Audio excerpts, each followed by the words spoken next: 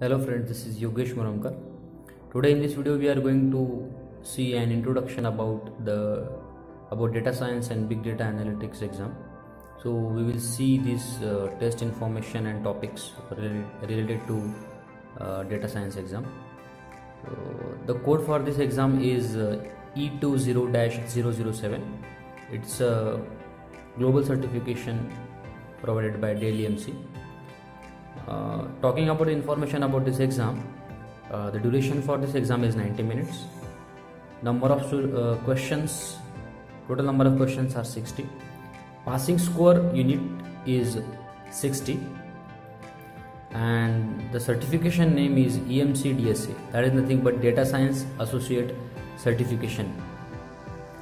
So it's an objective type exam. There will be four options given to you and you will have to answer or mark one of the four answers. Talking up about the topics which are asked in this exam are like big data analytics and data scientists role. For this topic generally they ask questions near about 7% of questions are asked on this topic that is big data analytics and data scientists role. Then second topic if you want to talk is uh, data analytics life cycle. So near about 9% of questions are based on this topic in this exam. Then third one is initial analysis of the data. So near about 15% questions are asked on this topic.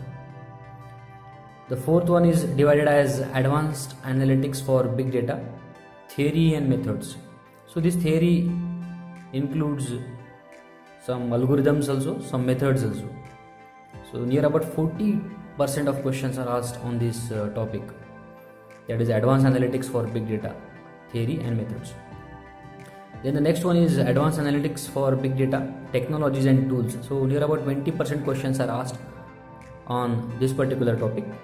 So these technologies and tools may include the tools like hadoop tools like r so questions based on those topics are asked for near about 20% and the last topic is uh, operationalizing an analytics project and data visualization techniques.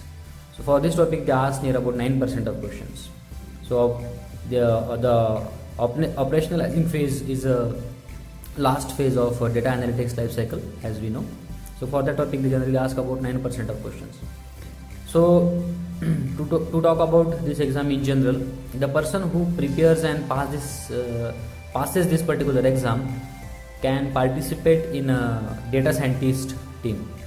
He can directly uh, contribute to the data scientist team. It's a foundation exam so all the basic topics will be covered in this exam.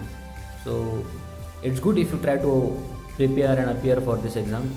As we know there are a number of opportunities which are there so that's it for